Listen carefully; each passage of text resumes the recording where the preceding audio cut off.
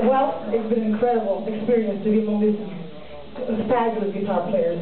You know, uh, Buddy Guy, Jonny Lang, Kenny Wayne Shepherd, Dweezil, Zappa, uh, Billy Cox, you know, and many, many more. Uh, Eric Johnson, Zakk Wylde, you know.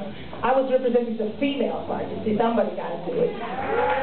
So, we've been on these two tours last year, 2000. That really made my year, you know, and, and we've been all together we left our comfort zones and our bands and hub and bus, two of us, and just really, you know, all, we all know Jimmy's songs, but really to be there for, for weeks and listen to different people and, and their versions of Jimmy's songs and, and, you know, try to do it better every night uh, went for everybody, you know, from Buddy Guy to, to all of us, you know, all of us. We really went into the zone and tried to really talk ourselves with every each performance. And um, I think only Jimmy can do that, unite all these different musical styles and different audiences. You know, we had uh, Buddy Guy's audience sitting next to Zakk Wylde's heavy metal guys and you know fusion guys, Eric, Johnson. And I can't think of any other guitar player, you know, than Jimmy who can really unite all these different styles. So, uh, you know, I've been uh, really blessed to be on that tour, and I did a few songs, my favorites that I've been playing throughout my career. Uh, I'm more of a B-side person, you see. I don't mess with the hit songs.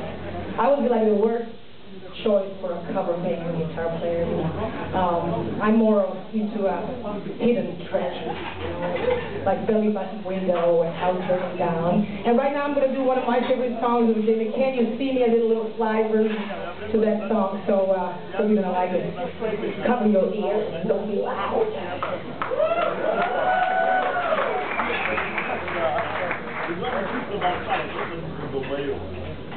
Yeah.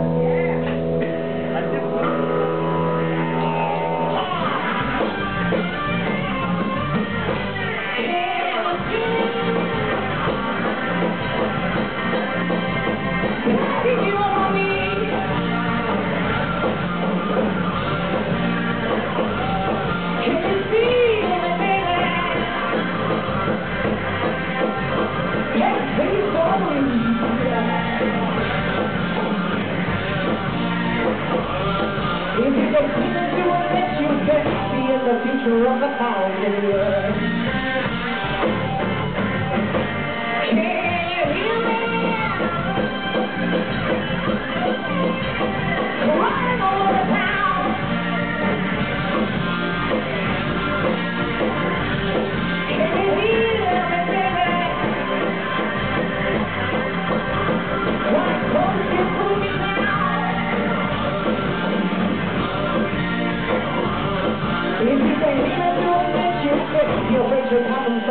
um,